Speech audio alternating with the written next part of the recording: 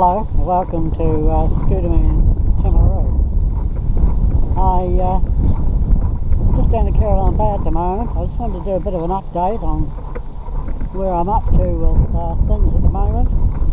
Um, I've been at my new home now for about uh, eight weeks and uh, starting to feel like home, so that's really good.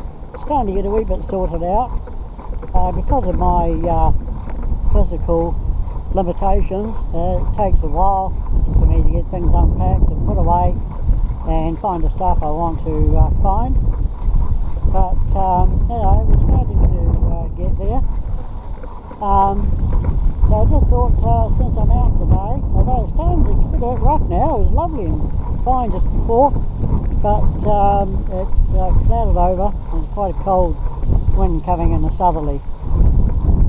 So I uh, just want to let you know that um, yeah, I'm uh, in the new home, all sort kind of sorted out, and um, I'm going to be back down the bay here next week or so, and um, do another search around with the uh, with the fishing magnet.